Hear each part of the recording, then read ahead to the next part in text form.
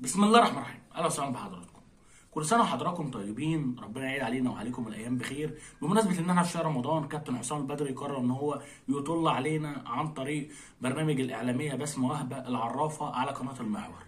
من أهم أسباب اختيار برنامج بسمه وهبه هو إن حسام البدري بيختار حد ملوش علاقة بعالم كرة القدم. بيختار حد مش هيعرف يجاوب على الأسئلة اللي هو هيقولها بجد. وحتى لو جاوب عليها وقرر إن هو يكذب هيتقال له إن هو بيكذب. فاختيار برنامج بسمه وهبه كان اختيار صايع وموفق جدا لكابتن حسام البدري. كابتن حسام البدري أطلق تصريحات كتيرة جدا بس أغلب التصريحات اللي فيها كان تركيز حوالين إن هو لم يفشل مع منتخب مصر وإن هو تم ظلمه مع منتخب مصر وإن هو لم يرحل بسبب الأداء السيء وإن هو رحل بسبب إن لجنة مجاهد كانت بتحاول تدخل في عمله وبتحاول فرض أسماء عليه.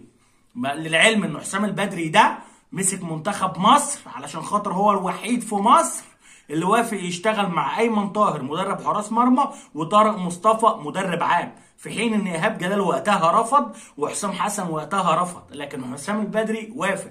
حسام البدري بيقول إن هو مشي عشان خاطر مجاهد كان عايز يتدخل في تشكيل الجهاز. شايف حسام البدري بيوصل الناس لمرحلة إيه؟ لمرحلة إن حسام البدري بيكذب كذب وبيجي يبرره في نهاية التصريح يقول لك إيه؟ وأنا ما اختارش الجهاز الفني بتاعي. طب إزاي ما اختارش الجهاز الفني بتاعك؟ وإزاي اتحاد الكرة أو اللجنة المؤقتة كانت عايزة تفرض عليك أسماء في الجهاز؟ طب ما أنت كده وافقت على الأسماء اللي تم فرضها عليك. طب اسأل كابتن ايهاب جلال هو رفض ليه؟ أو اسأل كابتن حسام حسن هو رفض ليه؟ اسأل الناس دي. هتعرف انت مسكت منتخب مصر ليه. لأن انت الوحيد اللي وافقت إن يتم تدخل في عملك من البداية. فأبوس إيدك لما تطلع تاني وتقول أنا مشيت من منتخب مصر ما تقولش على سبب زي ده. وما تقولش إن أنت اتظلمت وفشلتش. لا أنت فشلت. أنت قعدت سنة كاملة كنت خايف تلعب ماتشات ودية. ولما سألوك قلت إن أنا ما ينفعش ألعب ماتشات ودية علشان لعيبة الأهلي ما ترهقش وإن أنا مش هينفع أعمل ماتشات ودية ما فيهاش لعيبة الأهلي. والسؤال ده السؤال اتسرب لك وما عرفتش ترد عليه. ورديت عليه بطريقة ما عجبتش ناس كتير.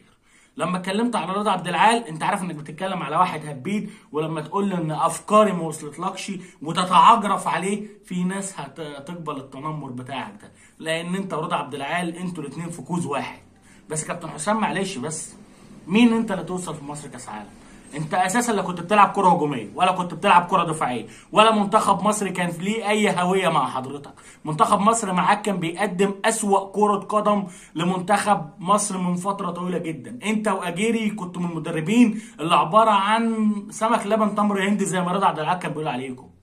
أنا عارف إن الحاجة الوحيدة الصدق اللي أنت قلتها في كلامك ده هو فنجادا لأن فنجادا تجربة بيعيش أي حد في مصر شغال في قطاعات الناشئين أفكار فنجادا وصلت لنا كلنا. فنجادا قرر في بداية السنة دي إن هو يعمل دوري مواليد 2001 يقرر إن هو يعمله مرتبط. يعني هتلعب زي الفريق الأول بتاعك ما بيلعب. فهنا مراكز الشباب قالت لك لا إحنا ما معناش فلوس إن إحنا نلعب مرتبط. فقرر إن هو يلعب مرتبط لحد الدرجة الثالثه أفكار فينجادا دي فكرة واحدة بتاع فينجادا اللي هو نلعب 2001 مرتبط بحيث اللعيبة تلعب ويبقى فيه منافسة أكتر علشان خاطر يخلق جيل مميز في الكرة المصرية. ده اللي فينجادا اشتغل عليه بس. إنما فينجادا مفيش دورات الاتحاد بيديها مفيش دورات C ولا في أي حاجة الاتحاد بيديها وده المفروض إن ده شغل فينجادا. بس فعلا عايز أقول لك حاجة. راتب فينجادا مليون آه مليون جنيه في الشهر. وبرضه أغلبنا عارف القصة بتاع مليون جنيه في الشهر وفنجانا بياخد مليون جنيه في الشهر. يعني موضوع إن أحمد مجاهد قال لك إن هو عنده شوية يوروهات ومش عارف يخلصها ده حقيقي. وفي فساد في اتحاد الكرة ده حقيقي. بس أنا عايز أقول لك حاجة لا أنت ولا أحمد مجاهد فيكم حد بريء. أنتوا الاثنين عبارة عن نصابين. وحضرتك مش طالع تقول كلام حقيقي وتصارح المصريين. انت طالع تتجمل وطالع تلبس أحمد مجاهد كل اللي أنتوا الاثنين عملتوه في الكرة المصرية. لولا انت وأحمد مجاهد عمر منتخب مصر ما كان هيبقى في يوم من الأيام تصنيف تاني عشان بيخاف يلعب ماتشات ودية.